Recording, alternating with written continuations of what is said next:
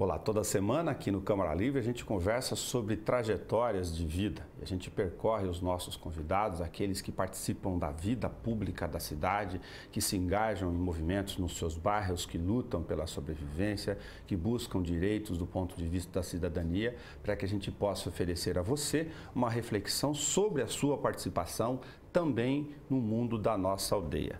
Por isso a gente convidou Rosimeire Maria Martins. Ela nasceu em Bauru e nos contou aqui num breve relato antes da gente gravar que ela só saiu de Bauru por dois anos quando os pais quiseram em Aquidauana, no Mato Grosso, buscar outras oportunidades. Afinal, é, o seu Clodoaldo e a dona Terezinha nos colocaram com nove filhos aqui no mundo. A Rosimeire é mãe de três e é sempre uma luta poder lidar com emprego, oportunidades, não é isso? Isso. Qual a memória afetiva, uma emocional, que você tem da sua infância? Para a gente não importa se é com 7, com 8, com 12 anos, mais na adolescência, mas é algo que aconteceu com você. Às vezes é um símbolo, uma bola de capotão, uma árvore, enfim, eu não quero interferir na sua memória. Eu vou comentando para você e vendo uma que você sempre, quando olha lá para a menina, fala: puxa, isso me marcou. É uma coisa que me marcou muito, eu acho que na vida minha e das minhas irmãs, é quando chegava o Natal que a mãe podia comprar uma bonequinha de plástico e dar para nós, né? É, e para meus irmãos, os carrinhos. Então aquilo marcava muito. Enquanto outras crianças ganhavam coisas né, é, mais sofisticadas, a gente ganhava aqueles bonecão de plástico da mãe. Aquilo marcou bem a gente. Porque a mãe, mesmo na dificuldade, ela nunca deixou a gente passar um Natal sem um brinquedo. Como você é engajada com movimentos populares e sociais há bastante tempo, a gente vai percorrer uma parte desses temas aqui. Você bem sabe que, infelizmente, na periferia da cidade, no Natal, muitas crianças, eu infelizmente já fiz matéria tendo que é, verificar essa situação no dia a dia, no sentido de ver essa realidade também, não ser impotente para poder atender todo mundo, mas tem centenas, milhares que não tem nem a bonequinha. Né? Com certeza, Nelson.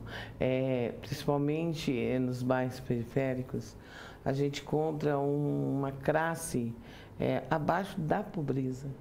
Pessoas que não têm o, o que comer, imagine um brinquedo para brincar. Eu comento muito para quem, não estou criticando, mas para quem não sai do centro, a gente fala assim, para quem não anda no, no bairro, que desconhece uma Bauru muito pobre, carente. A cidade, eu comento isso como jornalista, empobreceu infelizmente muito nos últimos 20 anos, por uma série de razões. E nós, no sentido de coletivo, de poder público, é, de alguma forma não fomos competentes para poder reverter essa trajetória. O país passa por uma crise, crise econômica nacional afeta um monte de lugar, mas a nossa cidade, no que a gente chama do cinturão da periferia, aprofundou a pobreza. Que sentimento você tem, se é esse mesmo? Olha, eu acho assim, a gente que mora na periferia, que vive a periferia, a nossa comunidade, entendeu? É, conhecemos bem, mas bem mesmo os problemas em todas as áreas, tanto da saúde, da educação, é, saneamento básico, a gente realmente a gente conhece. Verdadeiro, nós somos os verdadeiros secretários das administrações dentro da nossa comunidade. Porque lá é um para ser secretário de tudo, de educação, de saúde, é, saneamento básico, é, socioeconômico, porque nós fazemos a política no dia a dia nosso dentro do bairro. É andando, conversando com o vizinho, é comentando o preço do arroz que subiu, o preço da carne, é, o posto de saúde não tinha medicamento, o posto de saúde não tinha é, médico, né? Você transporte para você ir tá muito caro, não chega até naquela rua uma rua sem asfalto, como que se leva uma pessoa doente até lá. Então nós vivemos a nossa política dentro da comunidade, a nossa realidade, que é a realidade de Bauru hoje, dentro das comunidades é, abaixo da pobreza. Por quê? Hoje você faz um levantamento, é, quantas famílias têm situação de risco? Muitas. Muitas.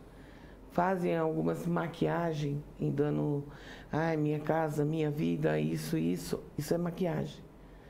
É maquiagem em cima do problema que é real dentro da nossa cidade. Não só dentro da, da, da comunidade ali, dentro da, da nossa periferia, entendeu? Mas é um todo. É um todo. É, nós do movimento popular, que a gente fala que nós somos o movimento da cidade. Né? A gente, dentro do, do movimento popular, a gente se comunica. Associações com associações, é, Santa do Virgem com Chapadão, Gasparini com é, Geisel. Então, a gente se movimenta, a gente movimenta o movimento popular dentro da cidade. Às vezes, quando a administração vai saber do problema, nós já estamos sabendo do problema antes da administração. Imagina. Você nos contava aqui que tua família, na origem, é parecido com as famílias grandes, como a minha, que teve 12 filhos. Aí todo mundo começa a trabalhar muito cedo para poder enfim, ajudar um pouco na renda em casa. Isso. Que lá aos 14 anos você ia na escola, estudava lá no SESI do Santa Isso. Luzia, né? que tinha o SESI na época. Que era lá. o SESI, o 296. E depois do período escolar, ia na casa da professora para ajudar. Isso, ajudar ela a arrumar lá. Arrumar uma renda. Isso, ela dava um, um, um trocadinho pra gente, onde a gente leva o dinheiro e dava pra mãe, né? Esse processo deve ter se repetido com quase todos ou todos os seus irmãos. Sim, todos. Ajudar numa renda desde cedo, desde criança, para poder ajudar em casa. Lá nós fazia de tudo. Tinha minha irmã que fazia o crochê, vendia as toalhinhas de crochê, tinha os meus irmãos que trabalhavam na roça, é, na fazenda Lorenzetti, na colheita do, da laranja, entendeu? Então era assim, cada um se virava para poder estar tá ajudando a mãe dentro de casa. Isso, de alguma forma, também criou uma outra dificuldade é, de concluir com todos o ensino médio Sim. ou prosseguir nos estudos. Sim. Era muito dificultoso porque já naquela época a, a educação ela já estava num, num, num, caos, né? Então, para a mãe manter todos nós na escola era um gasto. Então, é, caderno, borracha, lápis, eu lembro que nós ia para a escola com um saquinho de arroz. Minha mãe cortava o saquinho de arroz, pegava nosso caderninho lá dentro e nós ia para a escola. Entendeu? Então, muitas vezes, é, as professoras davam o caderno para a gente, davam os lápis, entendeu? Por isso é que é fundamental hoje, olhando para a questão da estrutura pública nos bairros, sobretudo onde mais precisa, que a gente está falando, que é onde você está lá engajado há muito tempo, de que às vezes a gente repete o óbvio aqui, mas para você poder falar dessa realidade, que quando a criança vai na escola e ela tem a merenda de qualidade, quando ela não tem a merenda, às vezes é uma refeição a única do dia dela. Olha, o Nelson, com a minha experiência esse ano, eu aprendi a fiscalizar. Eu tenho uma filha, minha filha tem oito anos, ela estuda na MF Alcida Cardoso, é uma escola do município, entendeu? E é uma escola que está tendo um ensino de qualidade ali dentro do nosso bairro. Nós temos boas escolas de ensino boas fundamental, para ser justo aqui. Na rede pública municipal. boas escolas e uma delas é a MF Alzira Cardoso. Porque lá, é, hoje minha filha está na terceira série, ela tem aula de inglês. Ela tem aula de inglês, ela tem aula de ciências, uma criança na terceira série, há anos atrás, não tinha isso. Era o livro Caminho Suave, era aquilo, somente aquilo.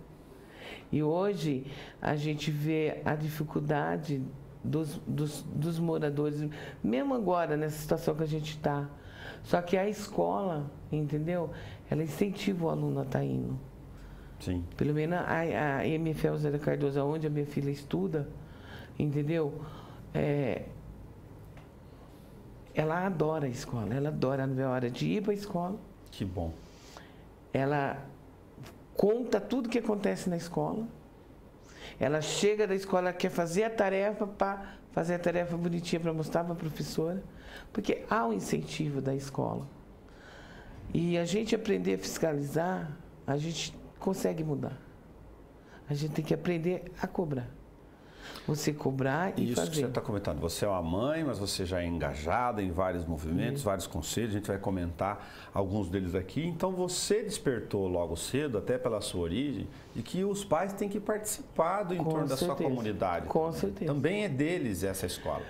Com certeza, porque eu acho assim, é, se você não participar, se você não tiver incluso dentro da educação, tá, do teu filho, você não pode cobrar uma educação dele.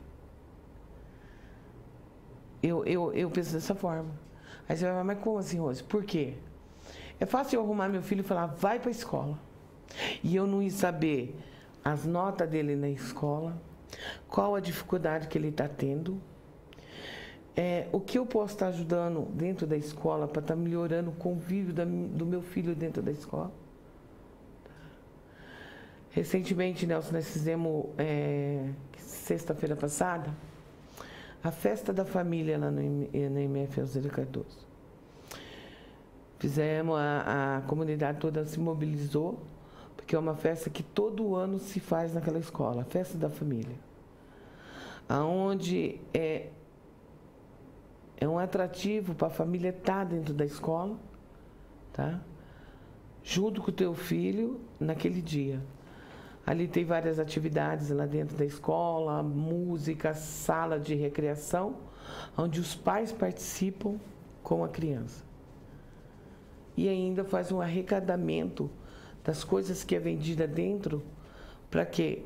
Para suprir aquilo que o município não consegue estar abastecendo dentro da escola, que é o fundo do APM dentro da escola. Legal. E para a gente poder comentar um outro espaço, a gente acompanha aqui, conversou com a, lógico, com a Delegacia Regional de Ensino, com o pessoal, professores também da rede estadual. Quando chega lá no final da adolescência e sai do ciclo municipal, infelizmente, não sei o que acontece, que perde o elo, a gestão muda, a qualidade cai.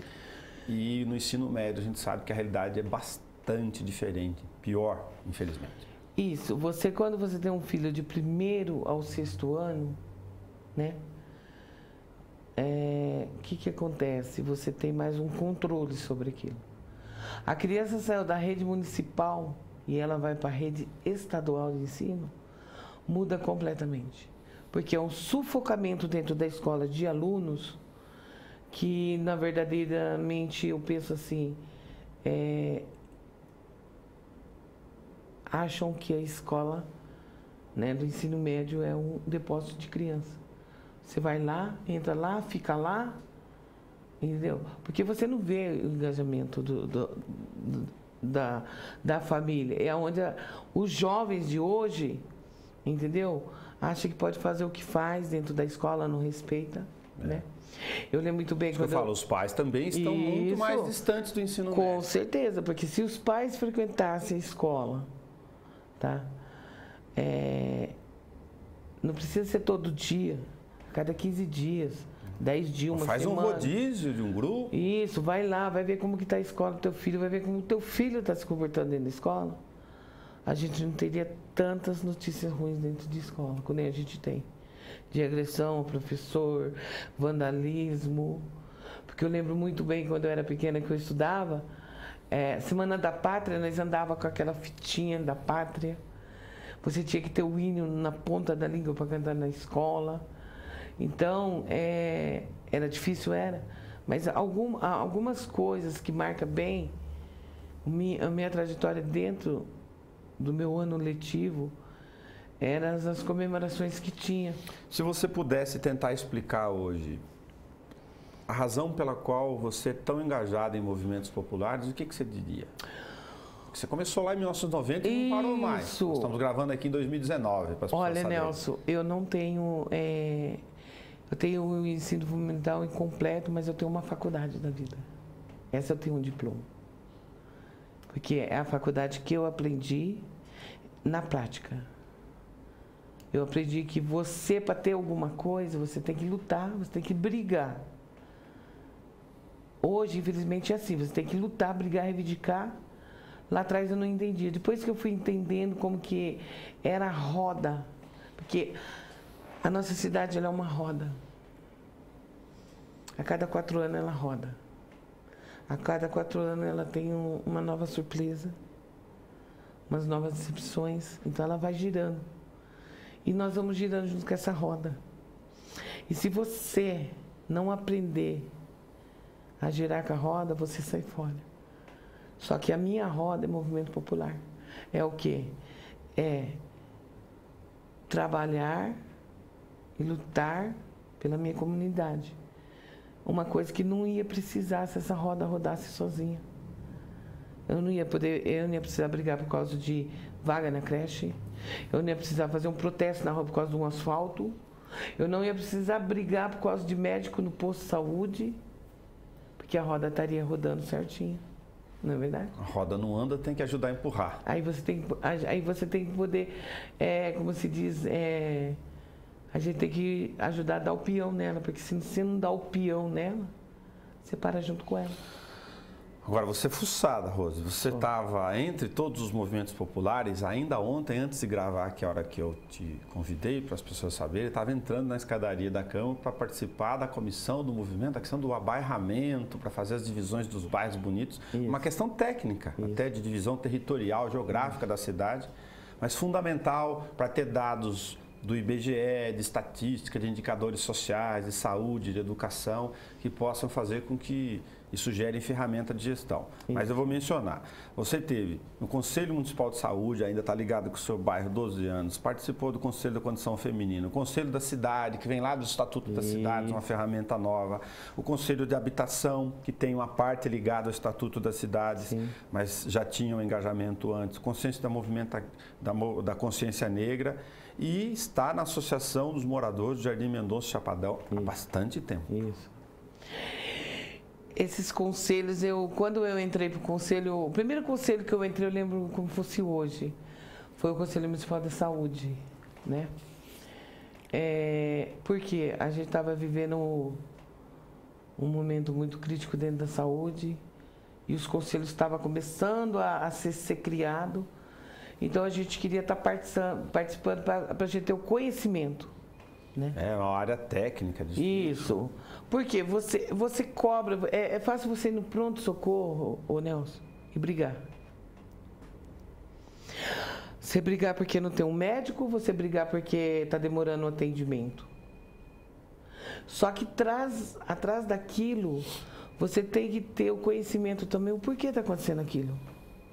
E eu, no meu pensamento, eu tinha que estar dentro do conselho para estar participando das reuniões, para estar vendo o, que verba é para quê, qual é a verba da dipirona, qual é a verba do antibiótico, por que, que eu não posso pegar a verba do antibiótico e comprar a dipirona, entendeu? Porque tudo tem uma finalidade. E, e com o meu ingressamento dentro dos conselhos, eu fui conhecendo.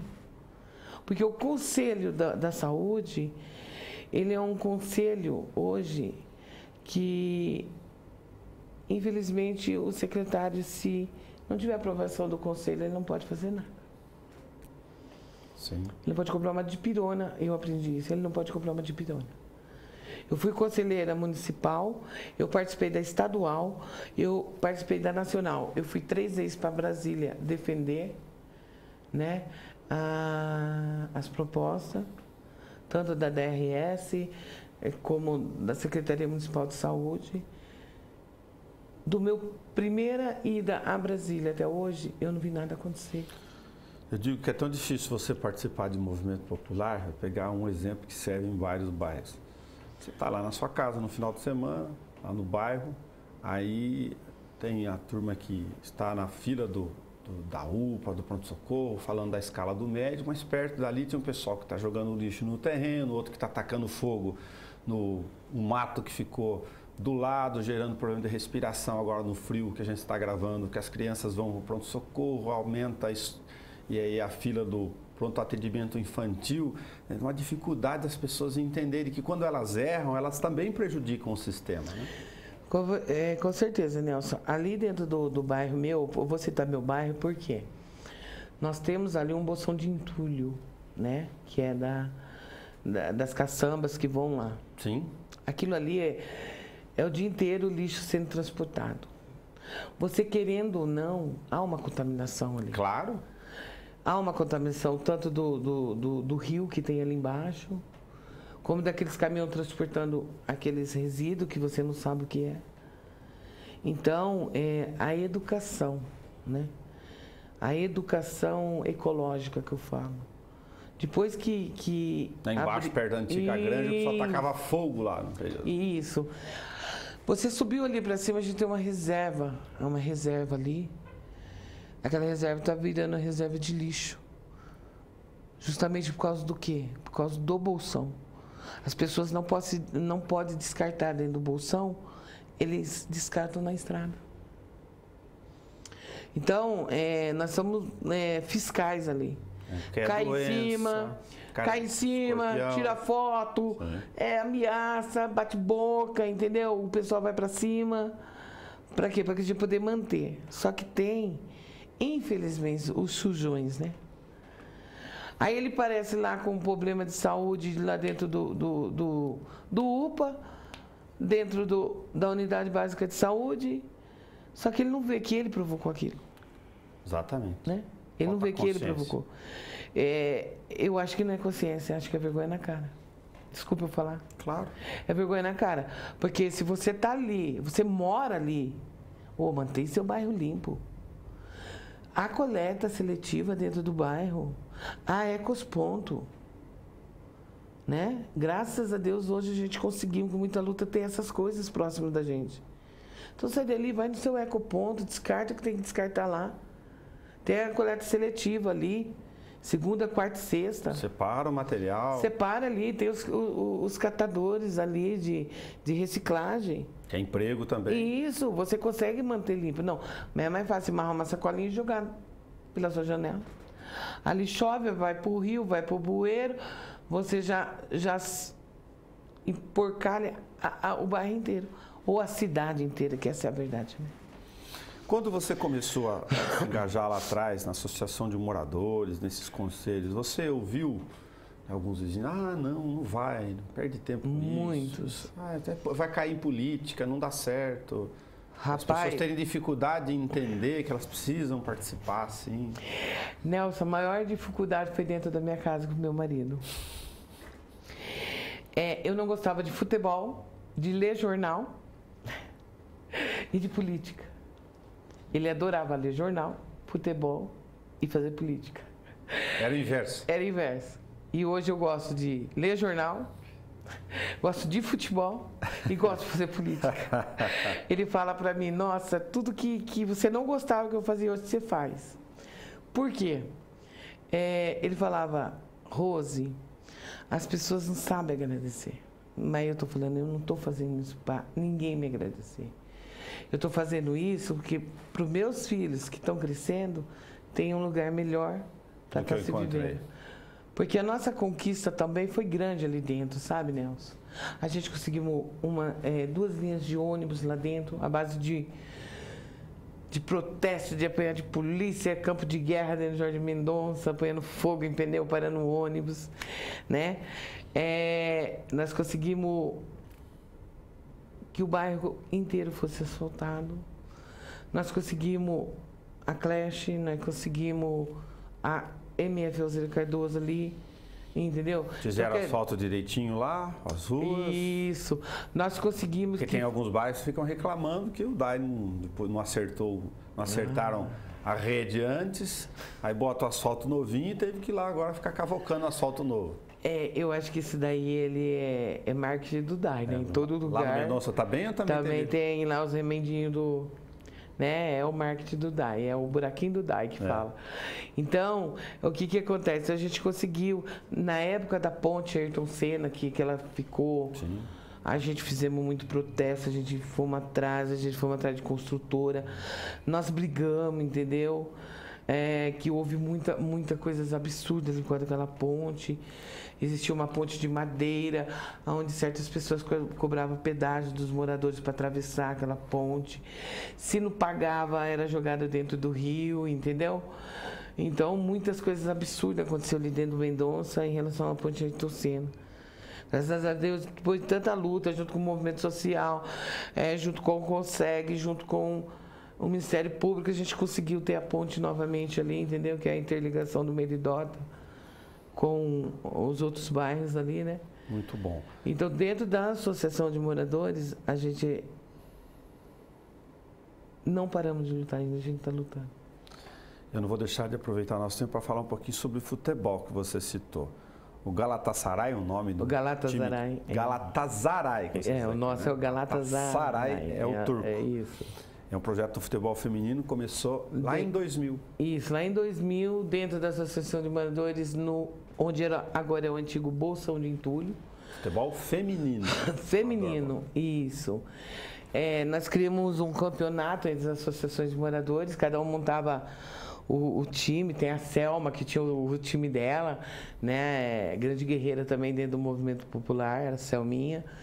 É, tinha também a Beth, que tinha o, o, time. Então a gente montamos entre a associação um, um mini campeonato Sim. de futebol feminino. Que eram as, as meninas domingo à tarde jogando, disputando. E onde era o Bolsão de Túlio, ele era conhecido como Campão, era o único lugar de recreação ali de nós do Jardim Mendonça. Jogava lá. Isso, então tinha dois campos, tinha um, um campo reto e um campo paralelo. Então jogava os times, aqueles times que foi. E era o domingo o dia inteiro de, de, de campeonato, um né? torneio. Isso era um torneio. No final tinha medalha, é, tinha uma caixa de Coca-Cola como prêmio. Então as meninas jogavam. Dali nasceu o Galatasaray. E ele nasceu dentro de um projeto do quê? É, da gente estar tá estruturando as meninas. Que existia muitas meninas que não tinham iniciativa ali dentro do bairro para nada. Então, como eu tenho uma sobrinha que eu falo que ela nasceu menino, porque ela joga bola, ela sorta pipa, ela corre. Aí a minha sobrinha, ela pegou e falou: "Tia, vamos montar o Galatasaray um time?" Falei, Rice, é muito difícil porque tem que ter uma estrutura. E ela falou, ah, tia, eu quero, entendeu? Eu quero. Se você quiser, nós vai. Eu lembro que o nosso primeiro campeonato foi no Toninho Guerreiro. No estádio, no Toninho Guerreiro, a gente começou. Atrás do Meridota. Isso, atrás do Meridota. Aí eu falei, e aí, menina, agora vai ter que correr atrás. Então nós ia atrás de dia, rifa, é, correr atrás de um. Levamos muitos nós. Nossa um caminhão de não e uma carrocinha de sim. Mas não desistimos. Disputamos o amador dentro de Bauru, consegui fazer as inscrições das 32 meninas que tinha, é, pagando a arbitragem, pagando as fichas de, de coisa, foto, tudo certinho. Entrou, o Galatasaray entrou em campo. Só que ele entrou para ganhar. Ele ganhou em duas partes, Nelson. Ele ganhou mostrando que quando você quer, você consegue. E ele mostrou que nós temos uma Secretaria de Cultura e Esporte dentro de Bauru, entendeu? Que precisava olhar mais para esses projetos e dar uma sustentação. Uma simples associação conseguiu ganhar um amador dentro de Bauru. Né? Será que a gente conseguiria ganhar coisas melhor com a ajuda da administração também. Revelar novos atletas dentro de Bauru. E praticar esporte. E né? praticar esporte. Essas meninas lá também. Porque hoje eu acho assim, são duas coisas que, que elimina a criminalidade. É você ter algo para fazer, ocupar a sua cabeça. Porque cabeça vazia é oficina do diabo, como se dizia meu pai. Se você tem Bauru hoje, poucos lugares para que as pessoas da comunidade possam. Se você falar para mim, hoje, o que, que você tem dentro da sua comunidade para oferecer de esporte? Nada. Nada. Nada. A única coisa que nós tínhamos era o campão lá em cima que virou o bolsão de entulho, entendeu? Tem muito problema de droga na periferia. Com certeza. Não só, não só é, é, no bairro, hoje isso ele se tornou um, um caso público. A, a, pessoa dependente química, hoje você encontra em qualquer lugar. Aqui do lado da praça, crack. Qualquer lugar. Hoje tem, é, desculpe falar, Nelson, mas hoje tem dentro das melhores e melhores famílias Sim. um dependente químico. Essas pessoas são culpadas de estar ali dentro? Não. Elas não são culpadas. Eu, eu não incrimino o dependente químico. Você sabe o que, que eu incrimino? O que eu acuso? É administrações. É a sociedade que não dá oportunidade para essas pessoas ter algo para fazer. Se você tivesse algo para fazer, entendeu? É, eu acho que a criminalidade não estaria tão alta. Eu acho que quando mostra Cracolândia em São Paulo, eu acho um absurdo aquilo. Não deveria nem de mostrar, aquilo é uma vergonha. Você mostrar um espaço onde é destinado a dependentes químicos. Por que você não mostra um lugar destinado à cura do dependente químicos? Hoje aqui dentro de Bauru, o que, que nós temos? Nós temos o CAPS. O CAPS não tem é, é, é condições de estar tá, é, encaminhando essas, essas pessoas para uma clínica. Bauru não tem uma clínica. Não. Não tem, você tem que pagar. Agora você não tem dinheiro para comprar uma comida dentro da tua casa. Você já está com um dependente químico ali dentro. Você está com a sua casa desestruturada. Porque a partir do momento que o teu filho, Nelson, ele é dependente químico, você se torna doente junto com ele. O seu psicológico é abalado, sua estrutura financeira é abalada, é... a sua autoestima é abalado. Porque você era uma pessoa, você hoje sai na rua, você olha assim e fala, estão me apontando porque meu filho é usuário. Sim. Às vezes nem tá, mas a tua cabeça está doente. Tem efeito sobre a família toda. Isso. Infelizmente. E hoje nós temos um tratamento digno para isso aqui em Bauru. Ou em qualquer outra cidade, não apenas Bauru. Nós não temos, Nelson. Não. Nós temos alguns, algumas igrejas, alguns, alguns centros espíritas que tentam ajudar essas pessoas. Mas eu chegar em você e falar, Nelson, eu preciso de uma clínica hoje. Mas tem suas limitações também, né? porque tem a questão química que precisa ser tratada. Tratada. Você precisa de uma clínica onde você vai ter três coisas que é necessário. Um psicólogo, assistente social, um psiquiatra. Para um doente químico. No, é, eles acham que o doente químico ele tem que ser internado no Perlate. Não. O Perlate, Jaú, ele é um hospital psiquiátrico. Ele é um hospital para quê? Para tratamento de pessoas com desequilíbrio mental. Esquizofrenia. Isso. Você vai tratar um usuário de droga como um louco? Ele não é um louco. Porque se você faz um tratamento certo num usuário de droga, entendeu? É, numa pessoa dependente de química, né? Eu não gosto nem de falar usuário de droga, é dependente químico. A família se torna dependente desse usuário também. Rosimeire Maria Martins. Muito obrigado de você ter aceito o convite de conversar um pouquinho conosco aqui. Isso. De um pouco da sua luta e da sua trajetória. Que Legal. A gente acompanha faz bastante tempo. Uma coisa que eu queria deixar também para você é que eu sinto muito orgulho. Eu e a, a Silvia Helena, que é uma assistente social, nós trouxemos para Bauru a primeira escola de autismo, que é a FAPAB. Esse é um orgulho meu hoje, que eu olho para a FAPAB, hoje ela está sob a coordenação da doutora Cátia Capuccio.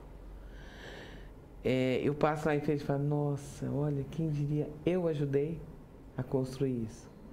E eu acho assim, Nelson, se todo mundo construísse algo em prol daquilo entendeu? Que é necessário dentro da nossa cidade, é, a construção ela vai mais rápida e o resultado vem mais rápido. Agora, se você depender, entendeu? De olhar só a tua casa.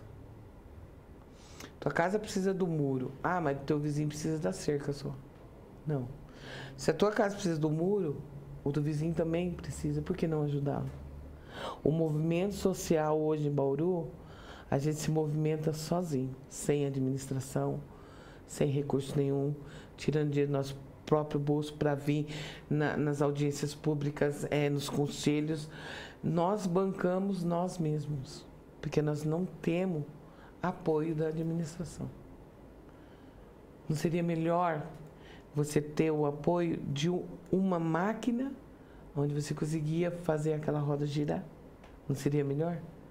Hoje nós não estaria na, é, na situação que nós se encontra hoje dentro da nossa cidade. Todo mundo quer falar, é Bauru sem limite. Realmente. É a cidade sem limite. É sem limite de é, organização, de doença, é, ultrapassar 20 mil casos de dengue, gente, pelo amor de Deus, que isso? É, é você chegar no final do mês ali, você olhar assim, aquelas famílias tudinho na porta dos CRAS, atrás de comida, atrás de médico, atrás de remédio. Realmente, ela é uma cidade sem limites. Muito obrigado. Obrigado, um Nelson. pouquinho com a gente aqui. O Câmara Livre de hoje conversou com o movimento popular através um pouco da história e da luta de Rosimeire Maria Martins. Participe da vida coletiva de sua cidade. A audiência te pertence. Não dá para ficar parado. Até o nosso próximo encontro.